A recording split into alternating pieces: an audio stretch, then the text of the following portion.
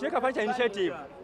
Batuwa sente muzee museveni zituyambe kituufu kwekulakulanya naye zituyambyeko okujjako obuzibu nga buzze emali yaffe eyidde tetulina kyakola tetulina sente za looni ziga kuddamu kuddamu kusasula. Chireka initiative and it was President Museveni who came around and even stood somewhere there. I was there, I witnessed, but I feel bad and I'm annoyed.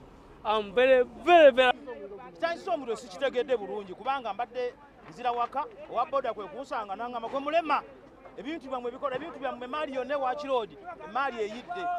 Amangu ago nenfunirawo boda nenziruka supiidi. Baddemu ebyalaani bibiri buli kyalaani kya miliyoni bbiri bya- bya- bya masanyalaze baddemu ne fiigi nagigula mu bupya kamu nkaaga.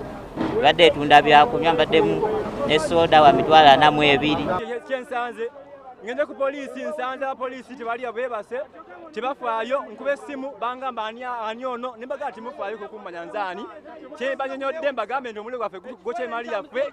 Kireka opposite kireka farmer market opposite kfc to the report, from the public that uh, reside in that area who are actually affected and inform them about how far we've gone in this investigation and also looking for solutions in case this fire catches uh, again. Are there uh, avenues of uh, trying to save the day before the police arrives?